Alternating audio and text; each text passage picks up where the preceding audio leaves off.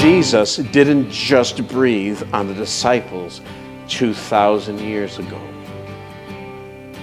Every time you are baptized in the Holy Spirit, God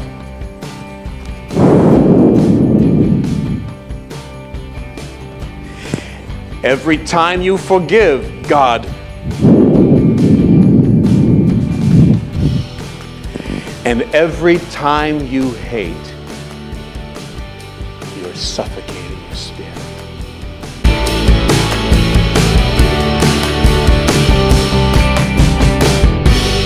Amen. You may be seated. Hallelujah. I want you to open your Bibles, please, to the book of Psalms and chapter 51. Amen. Psalm 51, verse 11, was written when he was found out to be an adulterer. And he says in verse number 11, Cast me not away from thy presence, and take not thy Holy Spirit from me.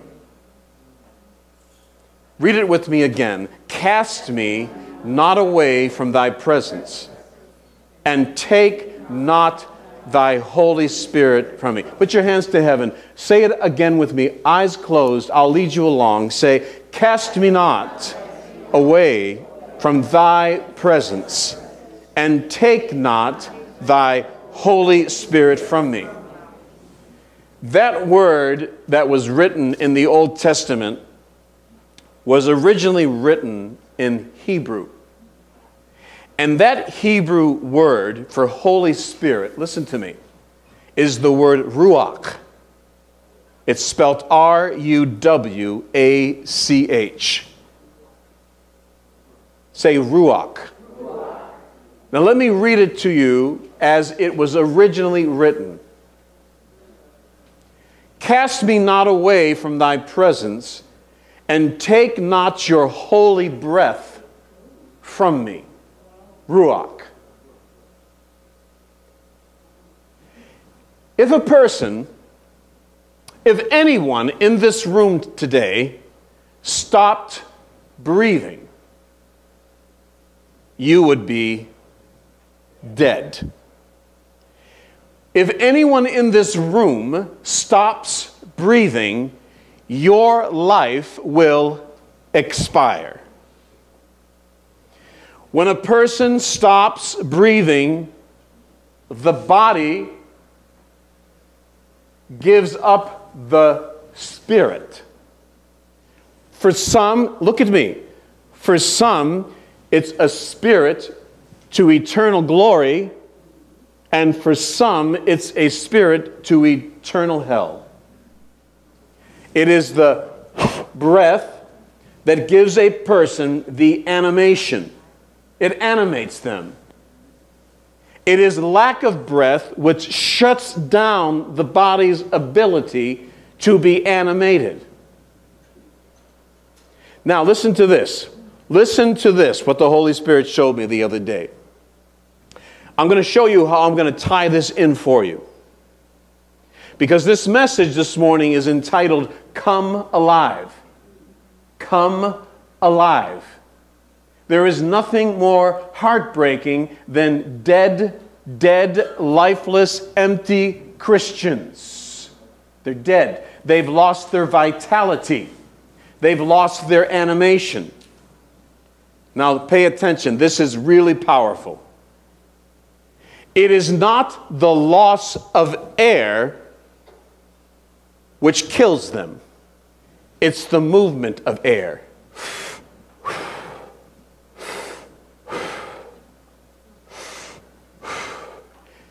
It's not the loss of air, it's the movement of air.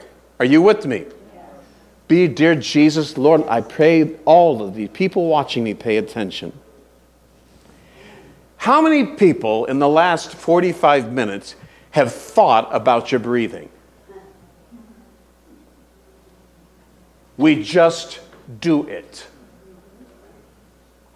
because it keeps us alive and we don't think about it. Now, let's look at this scripture again. Cast me not away from thy presence, and take not thy. No, no, no. Let's replace it with Ruach. Come on, read it again. Cast me not away from thy presence, and take not thy breath from me.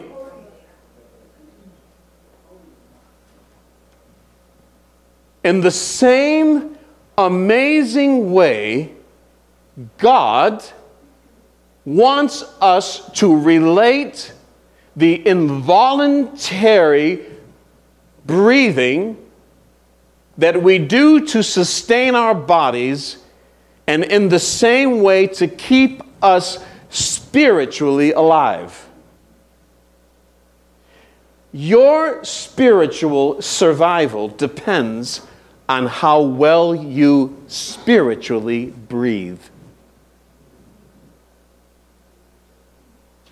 Your spiritual survival does not depend on the fancy church that you belong to or the fancy hat that you wear.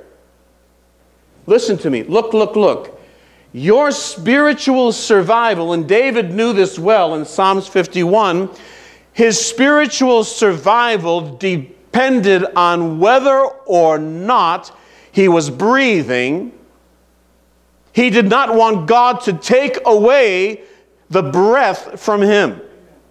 In the Garden of Eden, the Bible tells us that Adam was created. He made him from the dust of the ground. And the Bible tells us then God breathed in Adam the Ruach. In the same way, without the breath of God, the breath, the breath of God, the breath of God, right? Without the breath of God, man is spiritually dead. Now, the breath of God is not a legalistic formula. So read it again. Now remember, I must, I must give you this foundation. David had just been discovered to have been an adulterer. And he knew that as a result of his sin, he was about to lose his child, was going to die, and was going to lose his throne. And as a result of this sin, he sat down and penned this. And he said, Whatever you do, Lord, don't take the breath of God away from me. Three 178 times in this Bible, the word spirit, not ruach, is used. Are you paying attention? But 140 times, not in the King James Version, the word ruach, meaning wind, is used. So, without spiritual breath, one will die. David knew that. Lord, don't take your presence from me. And please do not take the breath of God from me. He didn't want to be a dead a dead duck. David said, Please, if you take your holy wind from me, I will spiritually die. Please, Holy Spirit, don't suffocate me. In the book of Job, in the book of Job, not Job, not Job, but Job, chapter 33 and verse number 4. Come on, read this with me. Job 33 and verse 4. Read it with me. The Stop. The the what? The ruach, which is the the breath of God has made me, and the breath of the Almighty has given me life. Spirit, life, worship, church, spirit, life in the Spirit. Amen. Look at this was no accident naming this church. In the spirit there is ruach. And where there is ruach, where there is life, there is what? Worship. There's no dead ducks here this morning. Amen. I said there were no dead ducks here this morning. Amen. The Spirit of the Lord is upon me.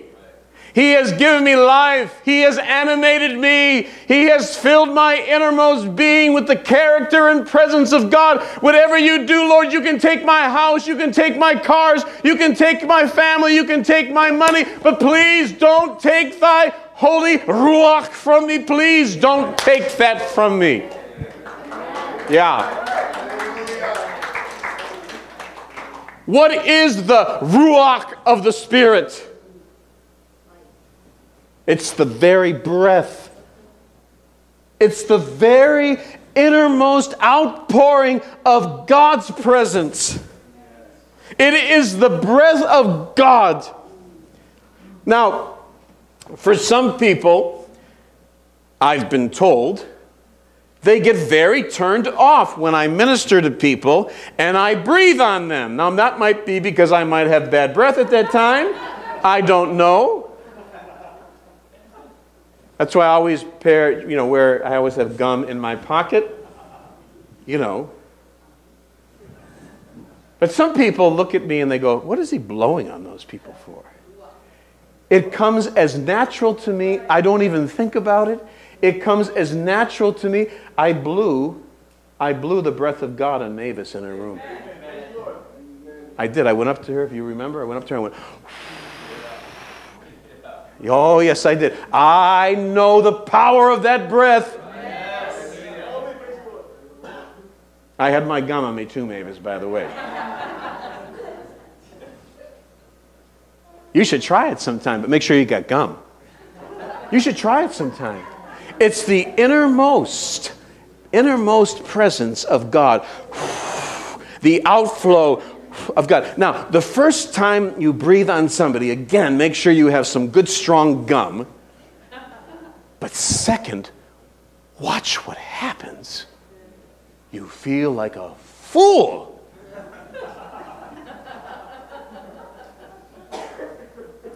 Look at Genesis 2 7.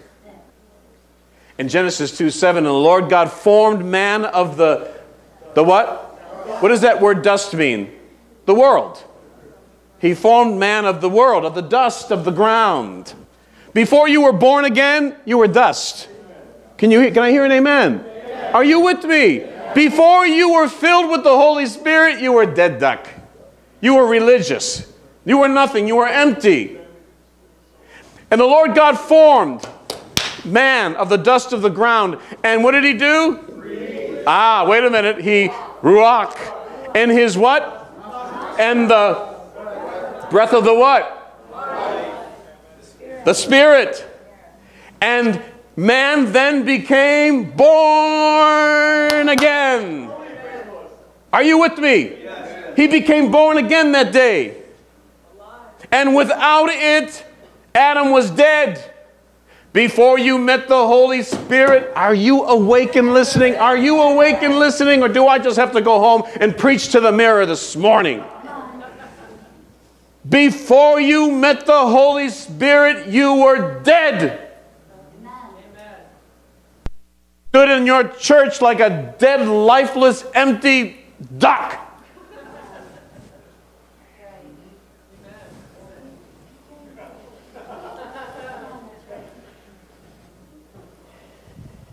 Remember? Amen. And then one day, you came to this crazy little church. And the pastor of the church did something that no other pastor has ever done to me before. And he breathed on me. Right? And you became a living soul. Just this morning, not only was Mavis's testimony just incredible, but during this little meet and greet time, I get people coming up to me, as you can see, and they give me their reports. Just a couple of reports this morning.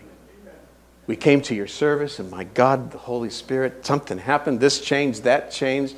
And there's a smile, and there's laughter, and there's joy, and there's hope, and there's animation. It's life, spirit, life, spirit, life. And worship is wonderful, and, and the presence of God is glorious. And David did not want God to take that breath because without the breath of God for David and without the breath of God for Adam, he was a dead, lifeless duck.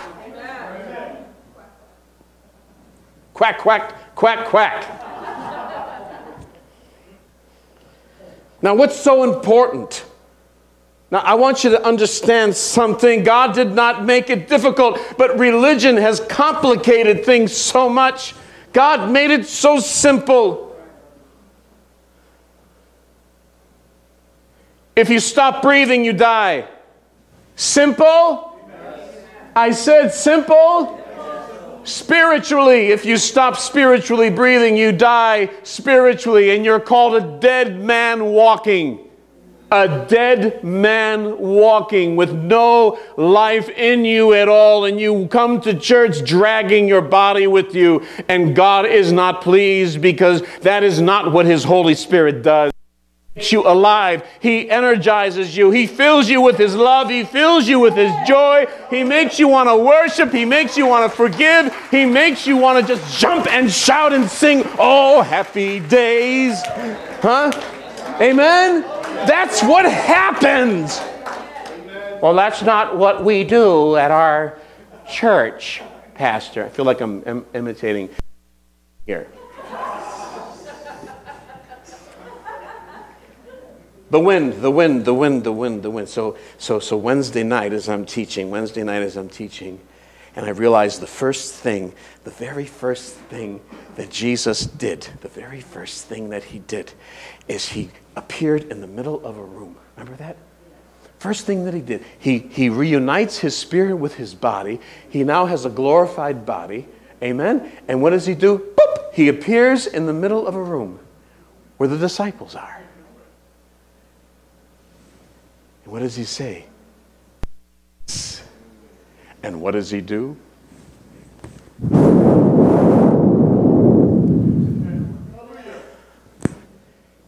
If you go outside and you decide that you want to take a sailboat ride, right? Anybody been on a sailboat? And you're sitting in the middle of this lake, right? And you decide that you want to go there. But the wind is blowing there. And you put up that sail.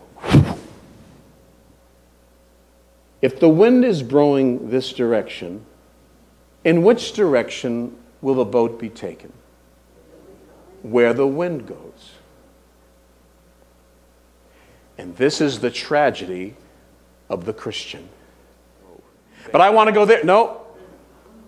Now, if you want to go there, it'll require a motor and gasoline called self effort. Are you with me? Throw the motor in the water and say, Where you lead me, I will follow. If you lead me, I will follow. If you lead me, I will follow. That's what it's all about with the Holy Spirit.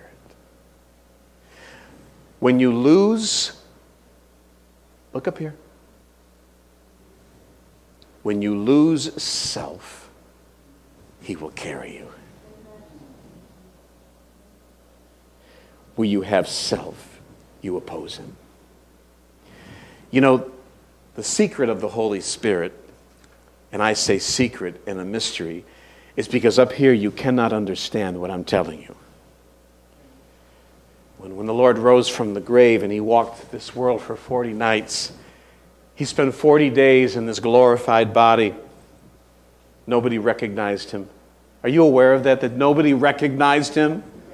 And some people make up these stories, well, because he had skin. No, they did not recognize him because they did not know him in the spirit. They did not know him in the spirit. They did not know him in the heart. They worked with him for three and a half years and they only knew him here. They had not had a revelation of him. Have you had a revelation of him? Have you? Have you had a revelation? Yes, I've, I've had.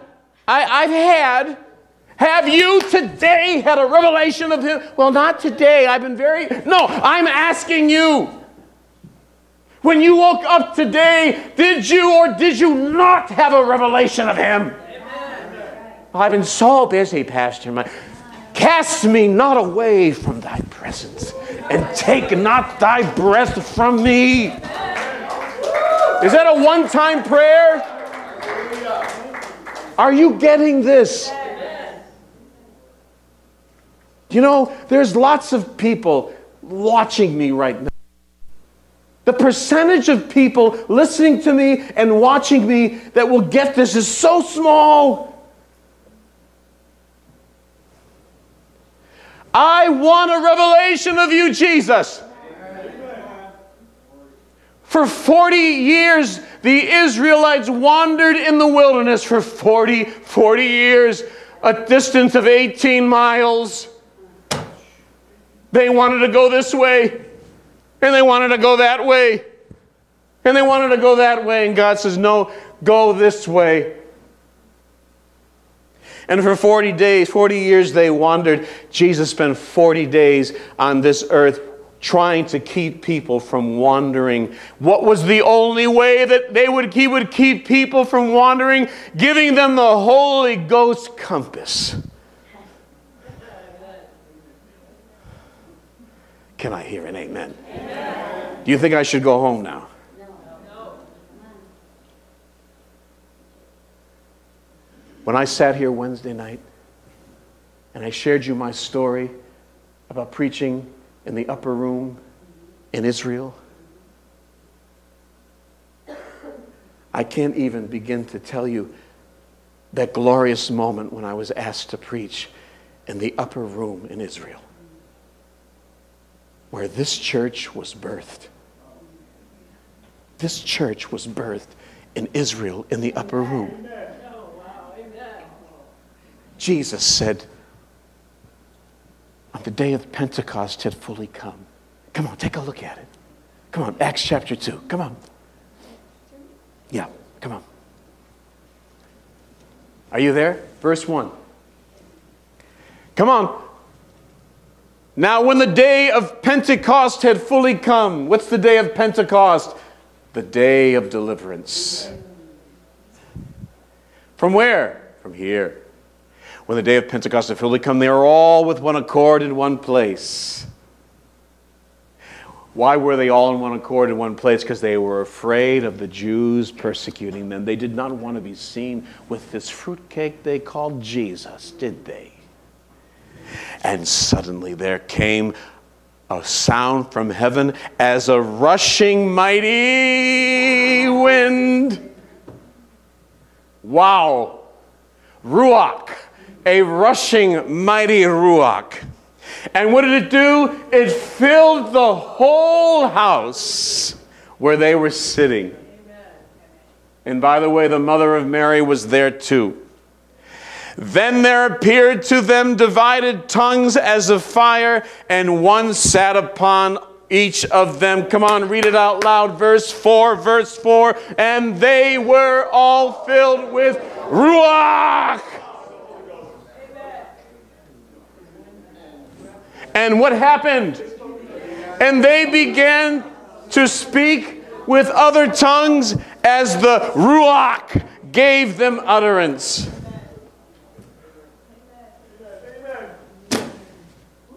Come, Holy Spirit.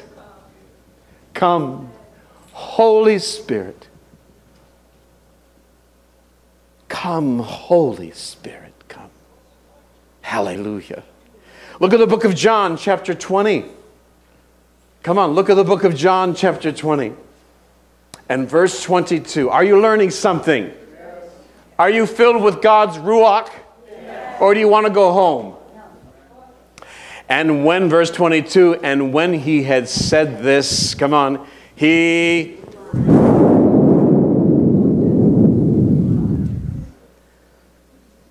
And what did he say? Receive ye the. That word, listen to this. That word is hagios. Listen to this. Jesus said, Receive ye hagios. You know what hagios means? The most holy thing. He said, Receive. Are you awake? He said, Receive the most holy thing. Word ghost is fuma. Fuma a gentle blast or movement of air. Come alive. You see, for those dead duck Christians, the problem is you need CPR. I said you need CPR. You're dead. You're not breathing right. You're breathing in toxic air.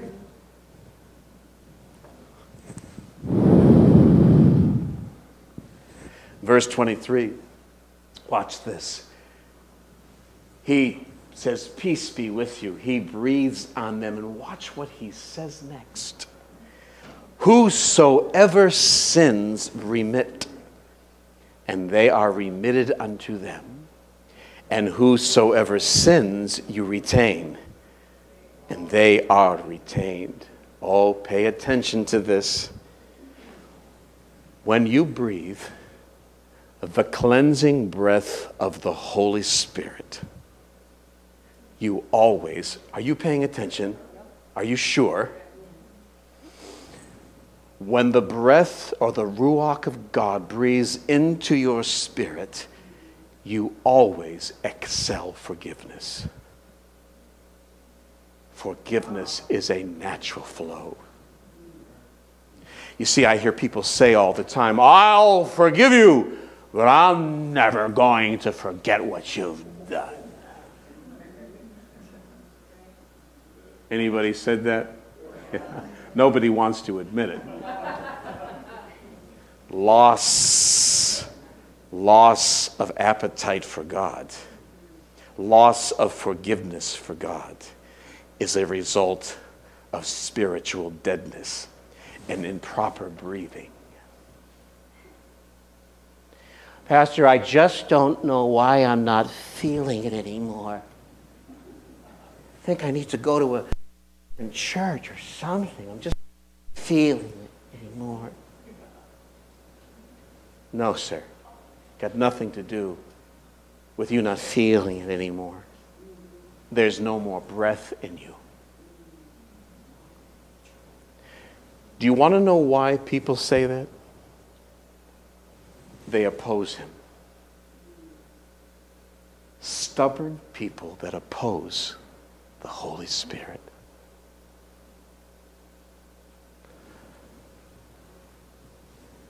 Don't oppose the wind.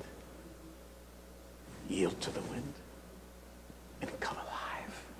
I said, come alive. Anybody been dead this week, a little bit dead? Two honest people over here. Thank you, Oliver, for pointing that out. All right. Anybody else besides, Oliver been dead?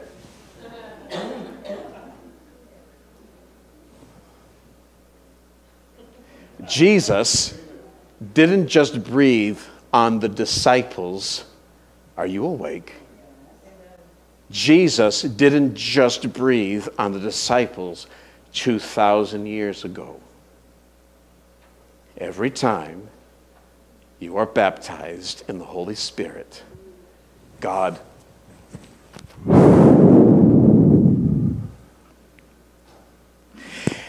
Every time you forgive, God. And every time you hate, you are suffocating your spirit. Please, please look at me. You're going along in life, everything's going just right. You pray, you love, you go to church, you give, you you you tip the waitress 30%. Everything is going just great, then all of a sudden one day somebody from the church ticks you off and irritates you. And what do you start doing? You start suffocating yourself.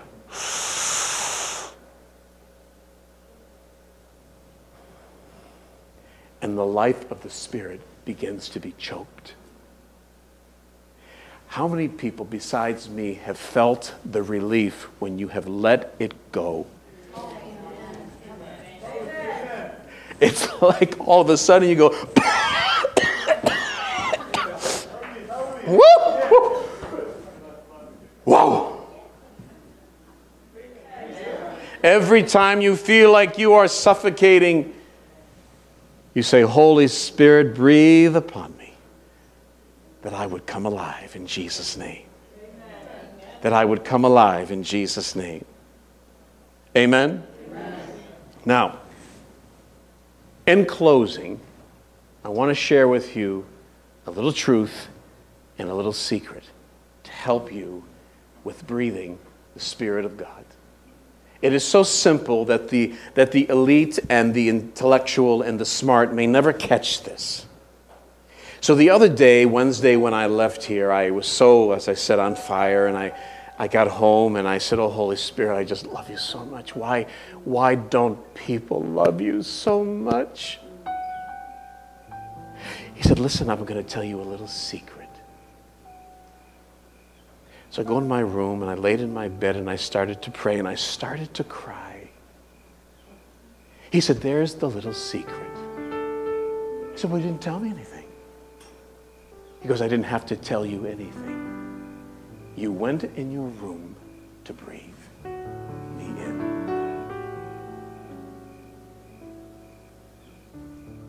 You knew where to find my breath. Where do we find his breath? you guys go without giving the opportunity to accept Jesus Christ as your Lord and Savior, please feel free to contact us at www.spiritlifeworshipchurch.com. Our phone number is 386 586 2202, and our service begins 10 a.m. on Sunday mornings. Can't wait to see you guys. God bless.